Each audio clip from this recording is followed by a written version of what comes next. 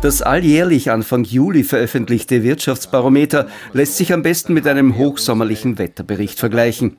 Die Sonne scheint und keine Wolke trübt den Himmel. Über 700 steirische Unternehmerinnen und Unternehmer aus allen Branchen, Regionen und Betriebsgrößen haben an dieser Konjunkturumfrage teilgenommen und alle abgefragten Parameter sind deutlich besser als im Vorjahr.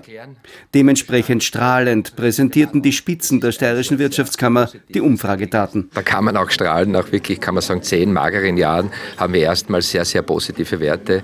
Also in der Vergangenheit haben wir immer berichtet, berichtet, es gibt den Konjunktursilberstreifen am Horizont. Also wir können sagen, die Konjunktursonne ist aufgegangen. Wirtschaft wird von sehr viel Stimmung und Erwartung geprägt.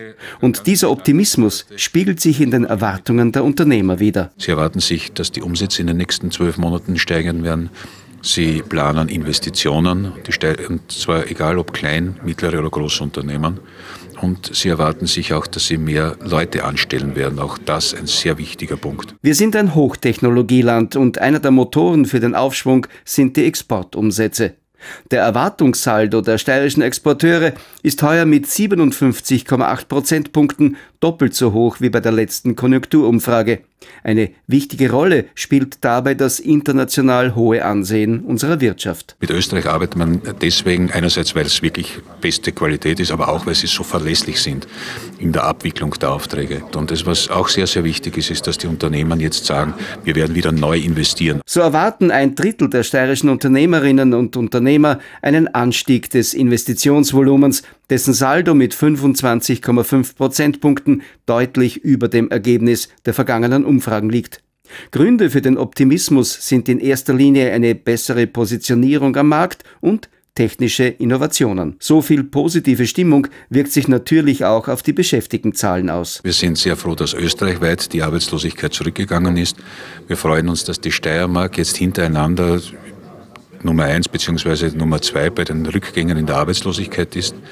Wir freuen uns sehr über die Jugendbeschäftigung, dass diese die Arbeitslosigkeit bei Jugendlichen, also der bis 24-Jährigen, um mehr als ein Viertel zurückgegangen ist. Die Einschätzungen in der Steiermark sind laut Wirtschaftsbarometer überwiegend besser als im Österreich-Schnitt. Innerhalb der Steiermark rechnen die Unternehmer im Großraum Graz, im Murtal und in der Oststeiermark mit einem starken Aufschwung.